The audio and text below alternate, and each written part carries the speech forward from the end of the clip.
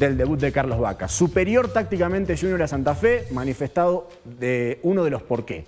Independientemente, Santa Fe tuvo sus chances también, pero no logró convertirlas. Carlos Vaca volvió. Qué alegría, engalana la liga Carlos Vaca, claramente. La primera pelota que toca es esta.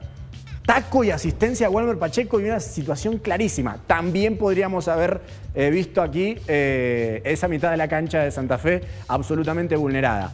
Vaca promoviendo otro desmarque de, de un compañero, retrocediendo, siendo oferta para Fuentes detrás. Aquí, Carlos Vaca entonces como una especie de enlace. Encuentra la pared con Deosa y con ese jugador que le había generado el espacio termina armando una muy bonita jugada. Este enganche es buenísimo y si no salva Aja, se venía abajo claramente el Metropolitano de Barranquilla. Una más de Vaca, otra vez en clave de Osa. Recostado hacia la banda derecha, no look pass. Y bueno, ya el resto es un tremendo golazo de Junior de Barranquilla.